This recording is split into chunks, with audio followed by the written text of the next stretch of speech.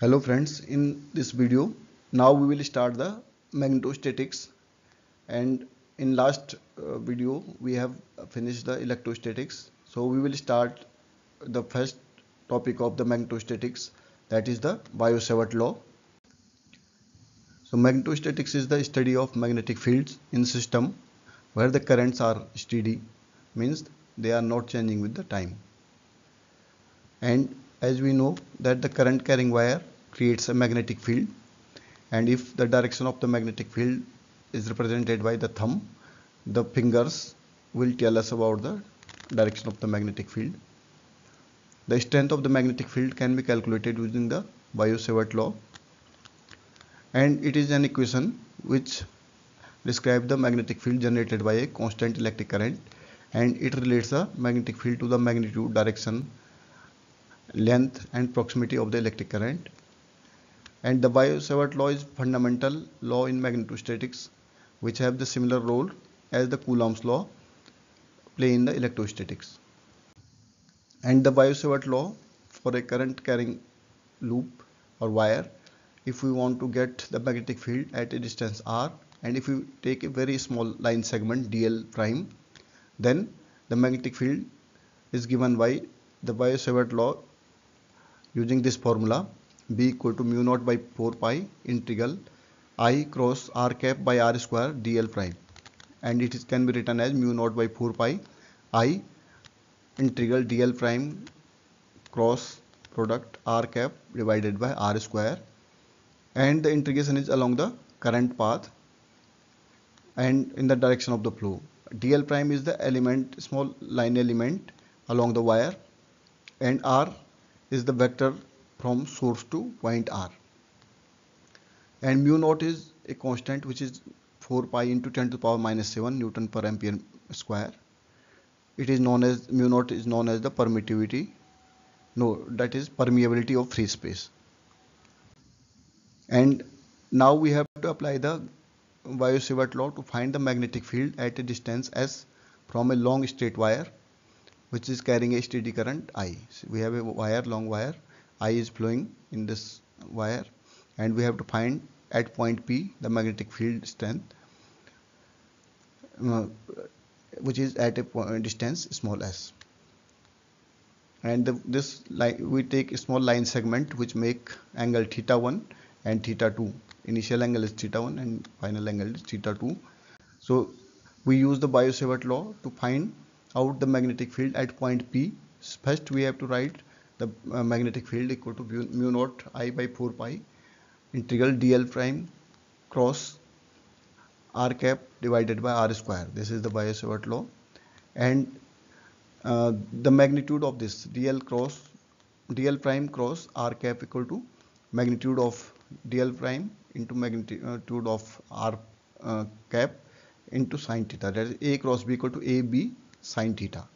And dl prime and r uh, r cap magnitude is usually unit vector the magnitude of the unit vector is 1 sine alpha can be written in terms of theta because uh, alpha equal to 90 plus theta. So sine 90 plus theta it will give us cos theta. So it is dl prime cos theta.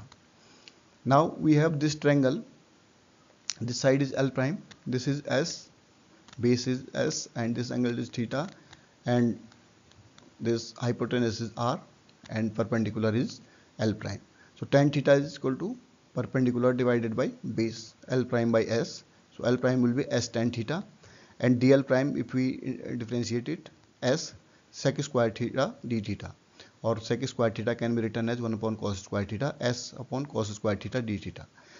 Now cos theta again in this angle uh, triangle cos theta is equal to s by r cos theta equal to base by uh, hypotenuse. So s by r or 1 upon r square can be written as cos square theta by s square. Now in this equation we can replace all these values from equation number 2 uh, 3 uh, 2 4 and 5 we, we have to put dl prime and uh, this dl, uh, dl prime cos theta and 1 upon r square in this equation. And we will have uh, this in simple simple form mu naught i by 4 pi. This is dl prime s by cos squared theta d theta cos theta d theta and cos square theta by s square. And the this limit will go from theta 1 to theta 2 the initial angle to final angle. Theta 1 was the this uh, uh, initial of the uh, line segment and theta 2 is the final this point so mu naught by i mu naught i by 4 pi s theta 1 to theta 2 this uh, cos square theta will be cancelled out only. Uh, we will have uh, cos theta d theta. And 1 s will be in denominator that can be also taken out. So it is only cos theta d theta. And the integral of cos theta is equal to sine theta. So if we put the limit it will be sine theta 2 minus sine theta 1 so b equal to mu naught i by 4 pi s sine theta 2 minus sine theta 1 so this is the uh, magnitude of uh, magnetic field uh, for uh, for a wire.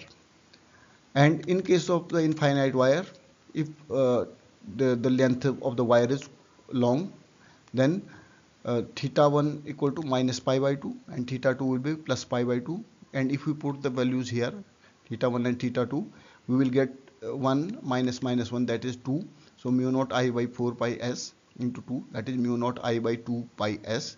And this is the magnitude and the direction of the magnetic field will will be in phi cap direction. So b vector or magnetic field vector is equal to mu naught i by 2 pi s in phi cap direction. So this is how we can find out the uh, magnetic field for an infinite wire or long wire uh, using the Biot-Savart law. So uh, this in this in next topic we will discuss the uh, magnetostatics uh, uh, the next part that is Ampere's law and the application of the Ampere's law. And in previous video we, we have discussed the Laplace and Poisson equation. That is the part that was the part of the electrostatics. So in next video we will discuss the magnetostatics in detail. Thank you very much Uh, thanks for watching the video